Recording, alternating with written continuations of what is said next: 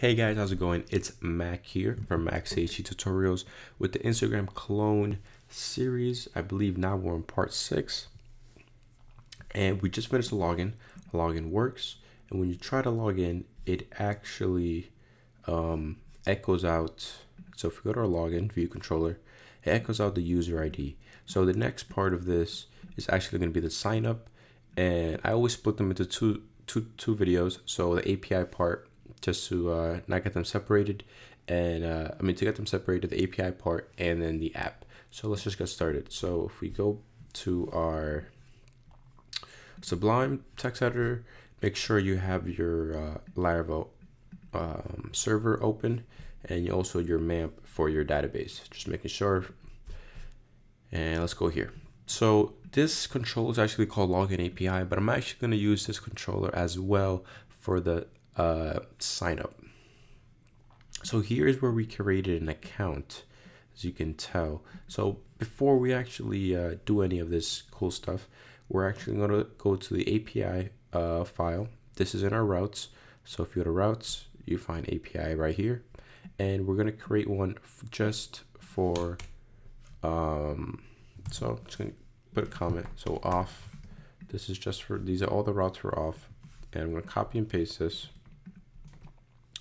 and we're going to name this sign up. Sweet and I'm going to change this to post sign up. I'm going to copy the function name. Routes is all good to go now. Now we have one for sign up. Remember this is a post. You can't do this on the uh, on the browser. Uh, the reason why this is a post is again you know we're saving we're updating data stuff like that. We're inserting. This thing we're in this function we're actually going to be inserting you're going to see us using get most likely when we get the post and stuff like that. But for now, uh, you know, we're going to be using post. Hope that wasn't too confusing. Anyways, let's go to login API controller. If you don't know what that is, that's HTTP controllers login API controller.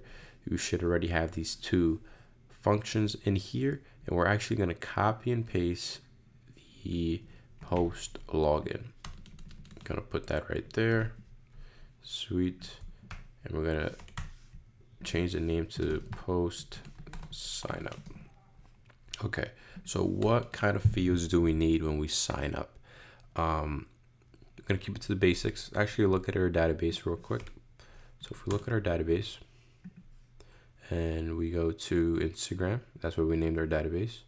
We go to users table we got a couple fields that we got to fill in. We got name username email password okay so we got these four fields it's as simple as let's just copy and paste this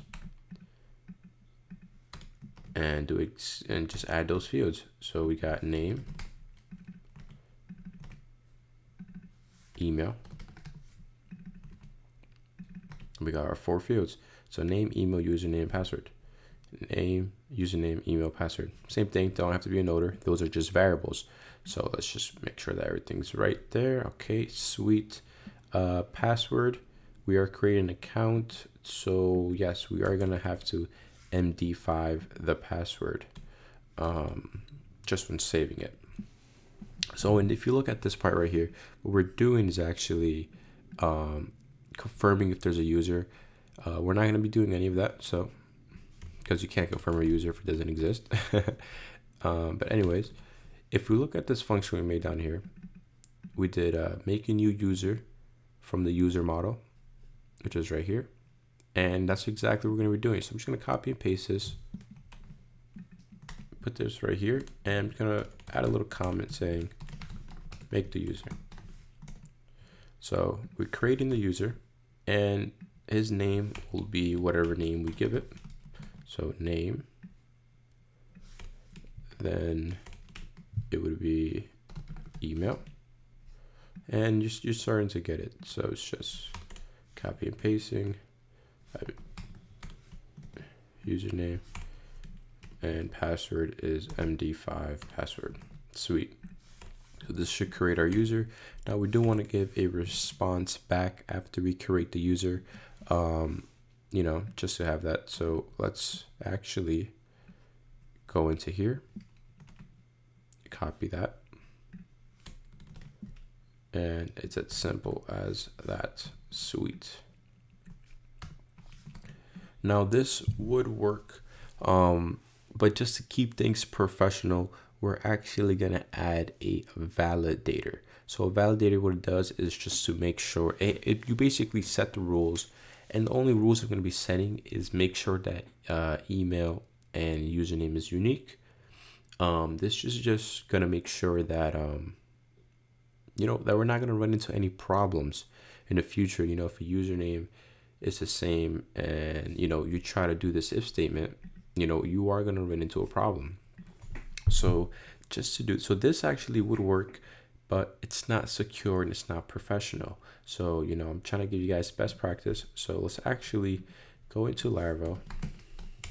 Now I'm showing you guys exactly what I would do. You know, I don't remember the exact code for it. So we could just go to the Laravel uh, documentation and just look at it.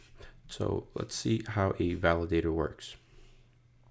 So you do the request, uh, validate, okay and you give it its parameters and okay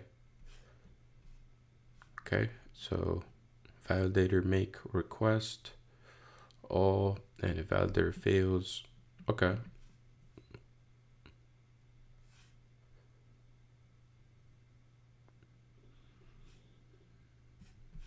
Hmm. All right, so let's just let's just uh, let's just copy and paste this right here, and uh, let's just give it a try. So um, I'm gonna delete this right here, and we're gonna so we make all our variables. Okay, and our request is actually just gonna be request. You see us use this above here. So request all and what are we to validate for? So we're to validate that we have all these fields first. So let's do name. Let's just copy and paste this. Name, email, username, and password. Now you may ask, why am I not putting uh, MD5 password. Now, MD5 password is not something that we're getting from the user. As you can see, we're making MD5 password. So these will actually be what the form, what we're getting from the form that we're going to fill in in our app. So these are all required and we're going to delete this. And this is going to be a unique user. Unique users, uh, basically unique from the users table. So uh, name uh, they can have the same name so we can delete that but they cannot have the same email address and the same username. Sweet. So if, if validator fails um, what we're going to be doing is let's just copy this. Okay let's clean it up and if if validator fails let's just delete this right here and we're going to display with errors. So validator and let's just see how do you display the errors. Um,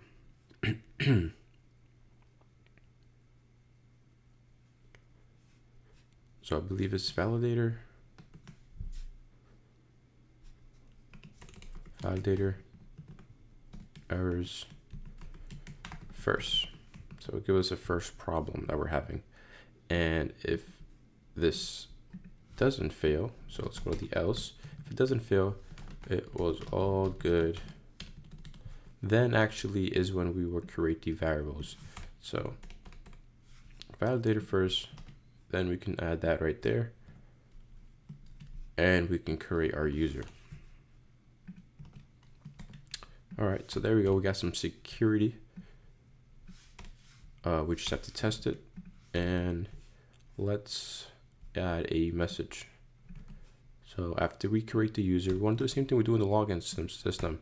So after we create the user, let's just get the ID and display it to the uh, to the app. This way we have something to work with.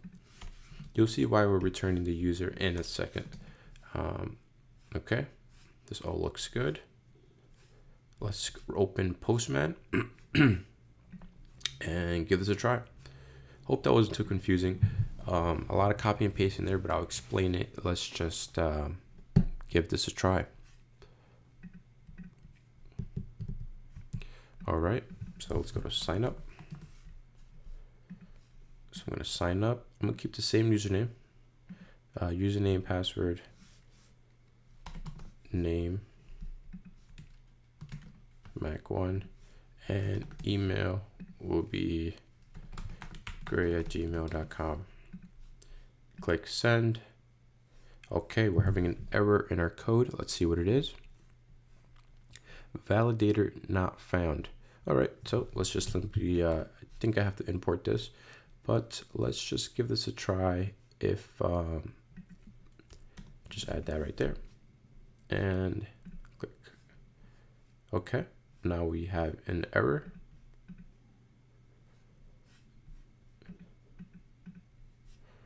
Okay, so let's just see what the problem is with the uh, validator not found. So I'm gonna Google that. First link. And do I have to import the validator? It's a good question. Um,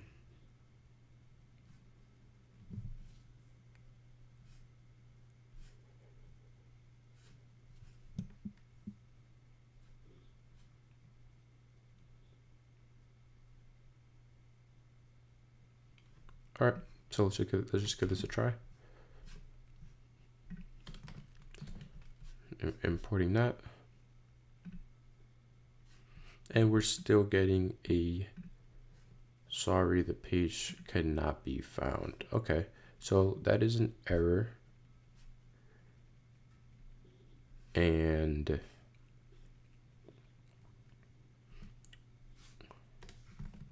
Let's see what the problem is. So we got the post.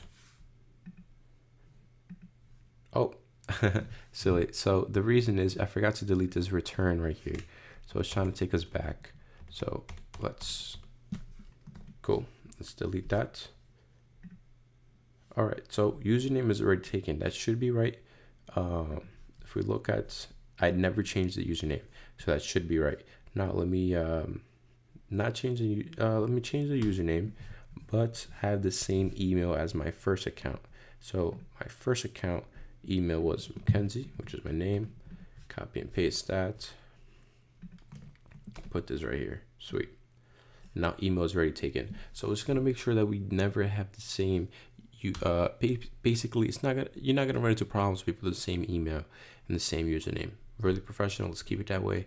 And let's say I put a one here, put a one here, different user, complete different person Click that and we get status one, message three, which is the student ID or the uh, basically the, the user ID, not the student ID. Uh, there you go.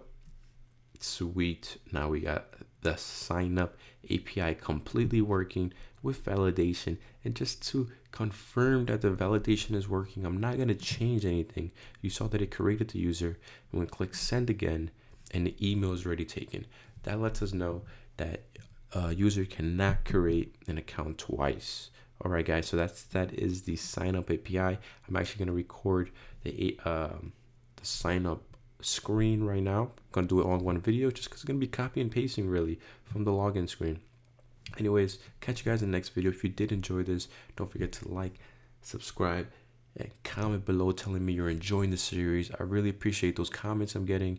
Fantastic series and you know, great job. You know, I really like you know, um, motivating you guys to learn. And uh, I'll just catch you guys on the next video. Hope you guys enjoyed this video and uh, see ya.